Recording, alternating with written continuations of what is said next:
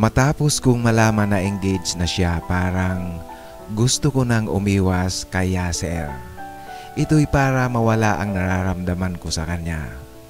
Pero hindi naman pwede kasi magkapit bahay kami at maganda ang pakikitungo niya sa akin. Walang problema sa panig niya. Ako lang talaga ang may problema kasi may gusto ako kay Yasser.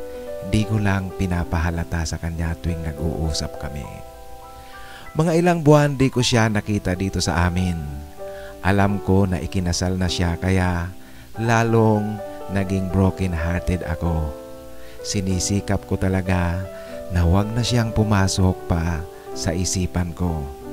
Pero hindi ko magawa-gawa, Tito Makoy. Lumipas pa ang mahigit isang taon sa kamuli kaming nagkita dito sa lugar namin. At masaya niyang ibinalita sa akin na may anak na pala siya. Ako naman Tito Makoy natuwa at binati ko siya. Kasi kitang kita ko sa mukha niya ang kakaibang klasing saya sa pagkakaroon ng anak. Bumalik pala siya dito sa lugar namin para dito na muling manirahan sa bahay ng kanyang mga magulang. Kaya napapadalas na naman ang aming kwentuhan tuwing nagkikita kami sa labas. At liban doon, lagi-lagi na siyang pumupunta sa flat ko, Tito Makoy. Lagi na namang nandito sa flat ko at nakikipagkwentuhan kung ano-ano ang napagkikwentuhan namin na masaya sa bawat oras na nagkikwentuhan kami. Isang gabi pumunta siya sa flat ko. Masakit daw ang kanyang likod dahil sa haba ng biyaheng nag-drive siya. Nag-offer ako sa kanya na imasahe ko ng kaunti ang kanyang likod. Talaga okay lang sa'yo? Tanong ni Yasser sa akin. Oo, magkaibigan tayo, wala yan. Wika ko. Pinadaba ko siya sa foam na inilatag ko sa sahig para imasahe ang kanyang likod. Nang mag-umpisa akong magmasahe ay, yan ang sarap sa pakiramdam. Wika niya kaya itinuloy ko na ang paghilot sa bahagi ng kanyang katawan na sinasabi niyang nangangalay dahil sa mahabang biyahe ng pagdadrive. Pero unti-unti kong nakikita ang reaksyon at galaw ng kanyang katawan sa bawat galaw naman ng aking kamay na nagmamasahe sa kanyang likod. Nag-iiba ang galaw nito. Parang nag-iinit siya sa tingin ko. Tama nga ang hinala ko kaya ginalingan ko pang lalo ang paghilot para lalo siyang pag-initin. At nang siguro hindi na siya makapagpigil ay bumangon siya at hinila ako. Pinagdikit niya ang katawan naming dalawa. Nabigla ako kaya di ko na nagawang pumalag at saka gusto ko rin naman. Ang nangyayari Tito Makoy, gustong gusto ko ang nangyayaring tagpo sa aming dalawa. Napaupo kami pareho sa sofa at natagpuan ko na lang kaming dalawa ay naglalaban na sa halikan. Kinuha niya ang kamay ko at inihawak ito sa kanyang daladala. Nag-i-enjoy akong humawak kasi masyadong malaki at parang bakal ang tigas. Tuwang-tuwa ako at parang nangyayari na ang matagal ko ng pantasya, Tito Makoy. Pakatapos ay pinilit niyang isubo ito sa akin hanggang sa tuluyan ko ngang makain ito, Tito Makoy. Malaking tuwa ang naramdaman ko kasi natupad na ang pangarap ko para sa aming dalawa. Heto ngayon, nagsasalo kami sa isang sekretong bagay na para sa aming dalawa lang. Iyon na naman ang simula ng napadalas na pagpunta ni Yasser sa aking flat. Halos linggo-linggo ay laging pumupunta siya sa flat ko at ginagawa na namin ang tagpo na para sa aming dalawa. Lagi niya akong pinupuntahan sa flat ko, Tito Makoy. Agresibo siya palagi. Tuwing nailalak ko pa lang ang pinto ng flat ko ay lusob kaagad siya sa akin. Magaling si Yasser pagdating sa halikan. Kung kailan siya nagkaroon ng asawa ay saka siya nakikipag-contact sa akin. At habang tumatagal kami ay napapansin kong lalong umiigting ang aming ugnayan at lalo ring umiigting ang pananabik namin sa isa't isa, Tito Makoy. Minsan habang nagpapahinga kami ay tinanong ko siya kung bakit lagi kaming nagniniig. Gayong may asawa siya. Ang sabi ko sa kanya dapat sa asawa niya ito ibinubuhos. Pero ang sagot niya sa akin ay, ay ang kanyang asawa ay asawa niya lang at ina ng kanyang anak. Hindi niya ito mahal.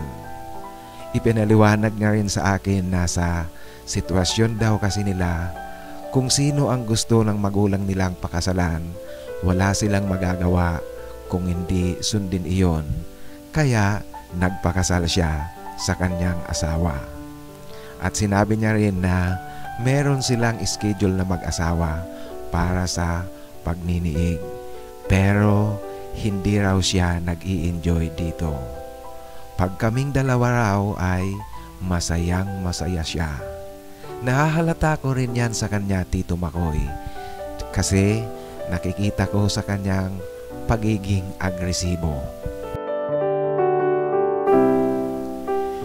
Pero Tito Makoy sa kabila ng umiigting naming relasyon, natatakot din ako na baka makahalata ang kanyang mga pamilya sa aming relasyon, lalong lalo na ang kanyang asawa.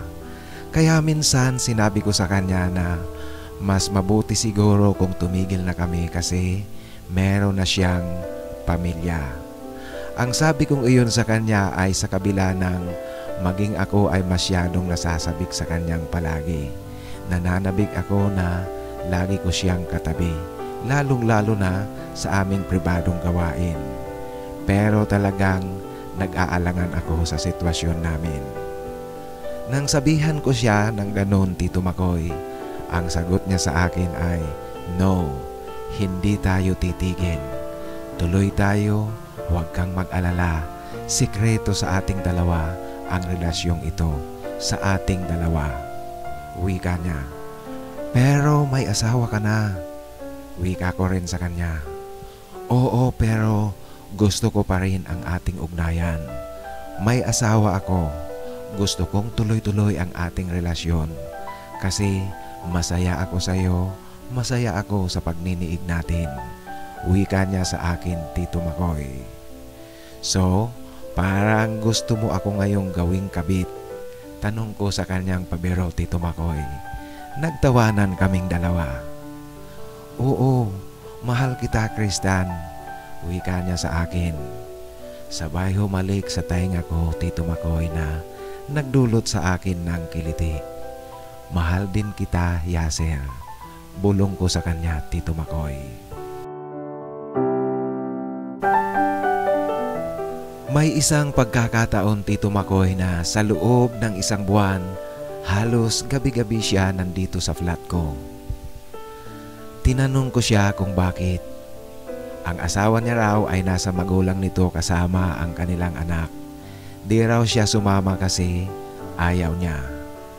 Mga ilang bisis ko na siyang sinasabihan na mahal na mahal ko siya pero talagang ang relasyon namin ay sa tingin ko mali. Pero ang laging sagot niya sa akin, wala raw mali sa relasyon namin. Kasi pwede raw silang mag-asawa hanggang apat. Kaya ang relasyon namin ay parang ganoon na rin. Para na rin daw ako ang kanyang pangalawang asawa. Kaya sabi niya sa akin, huwag kang mawawala sa akin, Kristan. Pagsusumamo niya, Tito Makoy. Nang marinig ko ang ganoong salita niya ay parang biglang humaba ang buhok ko, Tito Makoy, at kumi- kuminis at pumuti ang aking balat dahil sa narinig ko sa kanya. At baka ilang beses akong nagbakasyon sa Pilipinas at tuwing uuwi ako, lagi niyang sinisiguro na babalik ako. Sinasagot ko naman siya na babalik ako dahil mahal na mahal ko siya. Totoo nga talaga Tito Makoy parang di ko na rin kayang mawala siya sa akin. Mahal na mahal ko na si Yasser. Nagmamahalan kaming dalawa. Pero lagi kong sinasabi sa kanya na dapat huwag dumating sa punto na mapapabayaan niya ang kanyang pamilya. Iyan din naman ang pangako niya sa akin na hinding-hindi niya pababayaan ang pamilya niya pero hinding-hindi siya papayag na putuli namin ang aming matamis na ugnayan.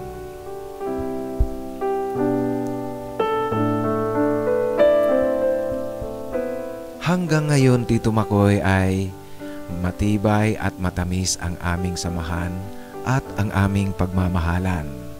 Patuloy akong nasa likod niya na parang akong kabit. Pero ipinaparamdam ko sa kanya na mahalaga siya sa akin. Kasi ipinaparamdam niya rin sa akin na napakahalaga ko sa kan- kanya. At tuwing sasabihin ko o kahit na minsan binibiro ko lang na tumigil na kami ay nagagalit siya. Kaya pinapabayaan ko na ang aming mga sarili sa sitwasyon naming ito sa aming relasyon. Tito Makoy, nagmamahalan kaming dalawa. Ramdam na ramdam ko iyon at kitang kita ko sa bawat isa sa amin. Kahit nga ang sabi ko para akong kabit at ang pagkakaiba nga lang ay pareho kami lalaki pero okay na rin ito para sa akin Tito Makoy. Ang mahalaga ay hindi kami naghihiwalay. Tito Makoy, mga ilang buwan pa ay uuwi ako sa Pilipinas para magbakasyon na naman. At alam mo Tito Makoy, excited ako sa pagkakataong ito kasi ito rin ang unang pagkakataon na sasama siya sa akin. Hindi raw pwede na hindi siya sumama sa aking pagbabakasyon. Ngayon ko Tito Makoy napatunayan na ang, ang mga Arabo pag nagmahal ay matamis sa pinakamatamis at masarap sa pinakamasarap Tito Makoy.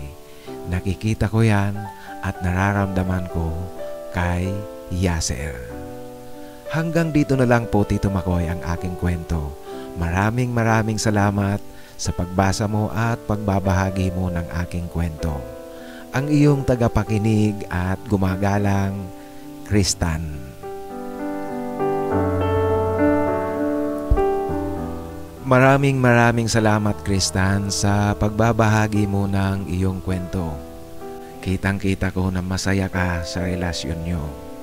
Pero, wawarningan kita, ingat ka. Alam mo naman siguro na sa relihiyon nila, bawal ang homosexuality. Baka magka-problema ka yan. Although, ang dami kong naririnig na marami dyan na lalaki sa lalaki Base na rin sa mga kwento ng mga kaibigan ko na galing dyan sa rehiyon na yan.